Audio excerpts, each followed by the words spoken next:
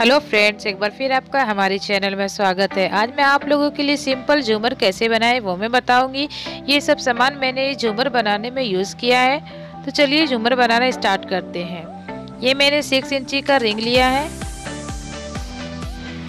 और अभी तक आपने हमारे चैनल को सब्सक्राइब नहीं किया है तो प्लीज़ ज़रूर सब्सक्राइब कर दे।